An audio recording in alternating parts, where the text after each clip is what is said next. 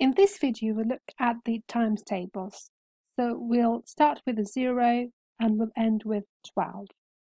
You can see a times tables grid on the screen and we'll work with that. So here I'll share some tricks that will help you multiply. So I'd like you to have a look at the patterns within this grid. Look at the color, look at the numbers. What do you notice? Is there something that repeats itself? Are there any patterns in there? And you've probably noticed that anything multiplied by zero equals zero. So zero times 0 is 0, 0 times 1 is 0, 0 times 3 is 0, 0 times 4 is 0, and so on. 0 times 5000 is 0, 1000 times 0 is 0. And this repeats itself on this column as well because it shows the same thing. It's 0 times 0 or 0 times 1 and so on. So the key thing for this part is that anything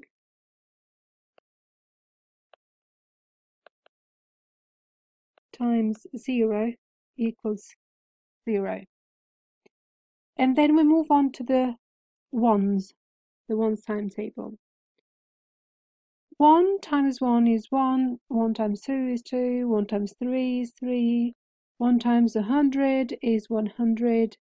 So it means one lot of something. So if you go once the shop to get two items, you'll end up with just those two items. If you go one time to the shop to get seven items, you'll end up with seven, and so on.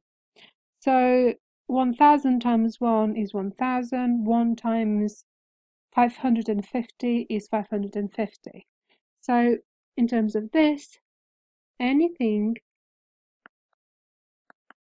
times by 1 is equal, anything is equal to the number itself. So 5 times 1 is 5. Then moving on to the 2's.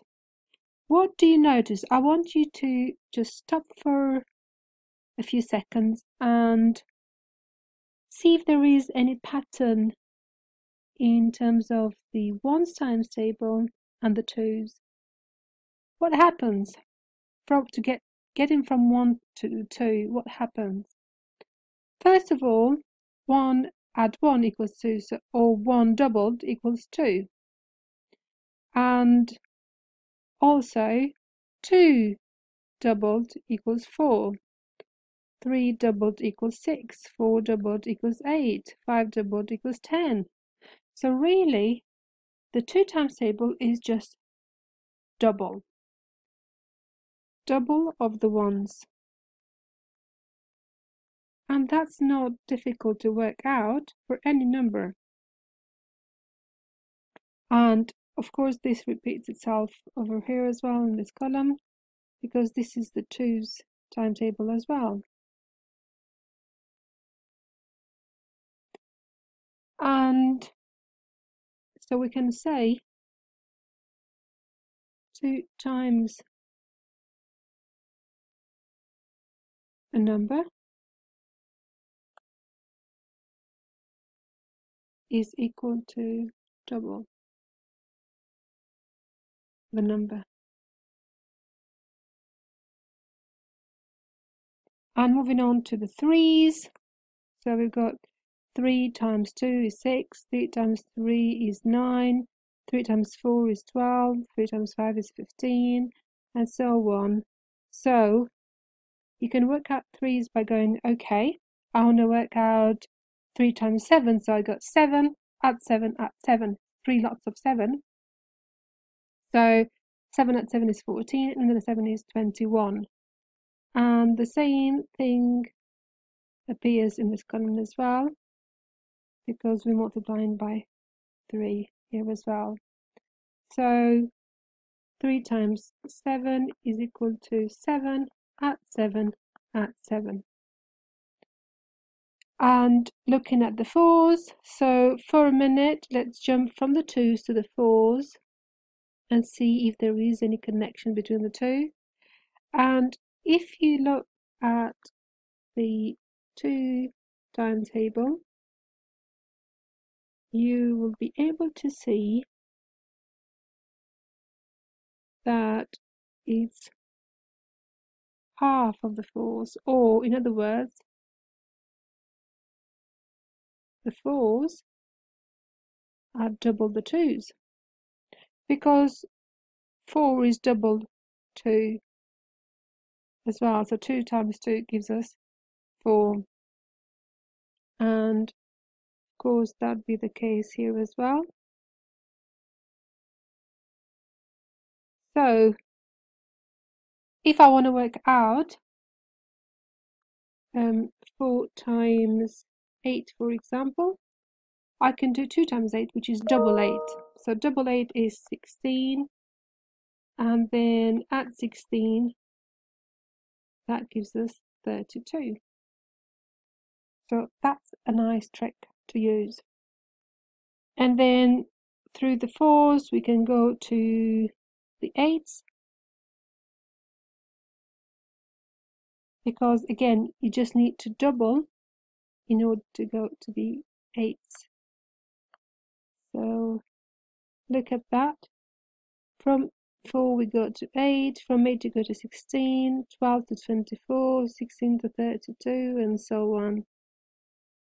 So if I want to work out what is 8 times 7 so I can have double 7 which is 14 and then add 14 to get 28 so that gives me four lots of 7 all I need to do now to get to 8 lots of it will do add another 28 and that is 56 so that's how we get there. And of course this is going to repeat itself for the eighth column as well.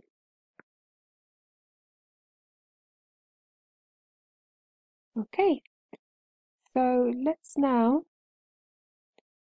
make another connection. So we did the threes. What is the connection between 3 and 6 it's just like the 2s and the 4s so it's double so if you know your 3s then the 6s are just double the 3s so let's try it with one example let's say I want to do 6 times 5. So to get three lots of 5, I got, okay, 5 and 5, 10, and another 5, 15. So that's three lots of them. Double that, 15. is 30. So get the 3 and then double that to get the 6. So we've already done 0, 1, 2, 3, 4, 6 and 8. The fives are what learners typically consider to be the easiest one because you've got 5, 10, 15, 20 and so on. So that's not a difficult one to do. And moving on to the nines, I'll skip the sevens for a minute. So there is a connection between the threes, sixes, and nines. As you can see, three and three makes six, and another three makes nine. So if you want, you could you could do that. So you go three. Let's try one out. If you know what is three times four, then you get 6 times 4 by doubling that. So 12 and 12 is 24. Add another 12 to get to the 9 times 4. So that is just 36. But I also have a nice trick for the nines, which I'm going to share here. So let's look at this. 9 times 1 equals 9. 9 times 2 equals 18. 9 times 3 equals 27. 9 times 4 equals 36. 9 times 5 equals 45. 9 times 6 equals 54. 9 times 7, 9 times 8, 9 times 9, and 9 times 10.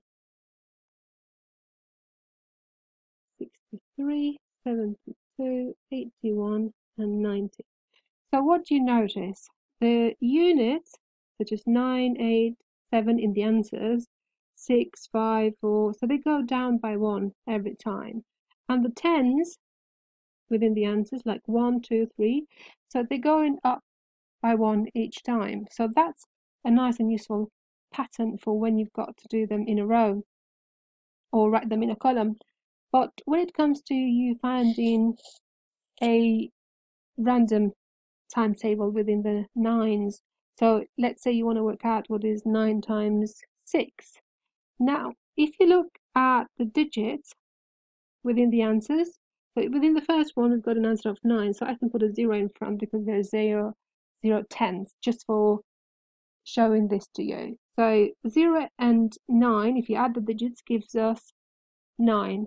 1 and 8 gives us 9, 2 and 7 gives us 9, 3 and 6 gives us 9, 4 and 5, 9, 5 and 4, 9, 6 and 3, 9, 7 and 2, 9. So all of these, if you add the tens digit and the units digit, they add up to 9. So we know that the two digits will add up to 9. But also, when you look at the pattern, 9 times 1 begins with a 0, 9 times 2 begins with a 1. 9 times 3 begins with a 2. So it's 1 less. So if I want to work out 9 times uh, 6, I can, I can see that the answer will start with a 5, so 1 less than a 6. And I need a digit that when I add to 5 will give me 9. So that is a 4. So 54 should be the answer. And it works with all of these. So the 9s are okay as well. Tens, nice and easy because 1 times 10 is 10, 2 times 10 is 20, 3 times 10 is 30, and so on. And when it comes to 11, again, 1 times 11 is 11, 2 times 11 is 22. So that digit is repeated for the units as well. So tens and the units will have the same digit, up to the point where you get to um, 110 and then 121. So 11 times 11,